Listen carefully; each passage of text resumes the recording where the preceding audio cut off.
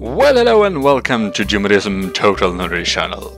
So, um, people have asked me time and time again how to change the build mode and I'm gonna show you how to do that. And before you storm the comments field with comments like, why are you using Windows 95? It's not Windows 95. This is Windows 7 Professional and this is my preferred looks of it. And I added the XP background because it's cool. Okay, so let's dive into this.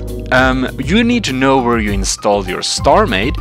If you are a Steam user, it's likely going to be on where your Steam is installed, which is usually the C drive, program files, see here, I can click for you.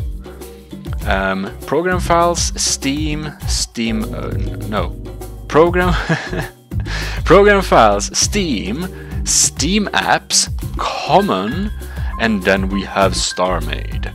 And when you find StarMade, you click StarMade again, and here is where you find the file you need to fix. So basically, um, you know, Steam apps, uh, Steam, Steam apps, common, StarMade, StarMade.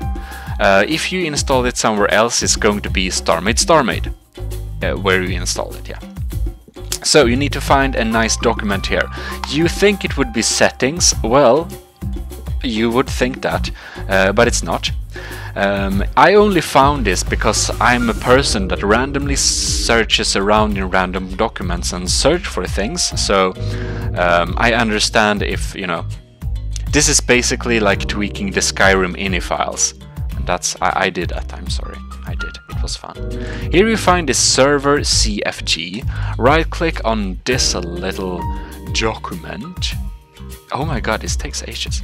Um, okay, right click on it and then open with and then you will select, uh, you can use notepad, you can also use the wordpad. I use the wordpad because it's nicer.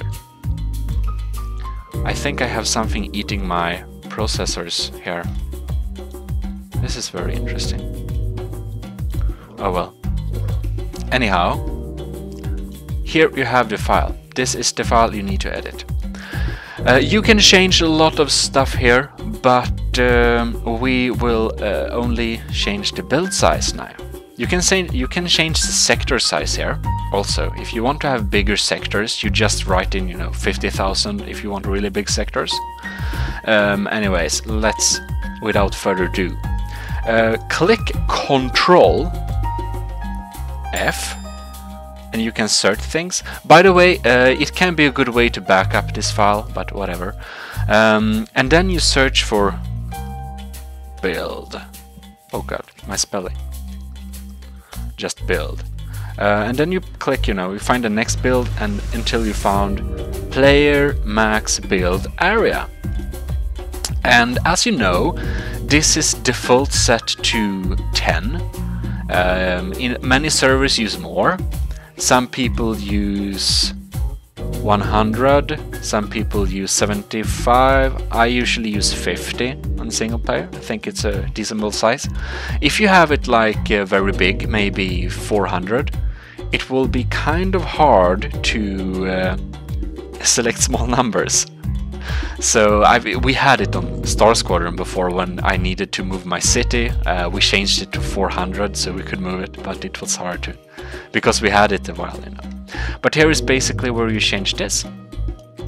Set this to whatever you like, 50 is a good number, and then just save the document, and there you go. Now your single player game's build mode will be 50. It's as simple as this, even though, you know, it uh, takes some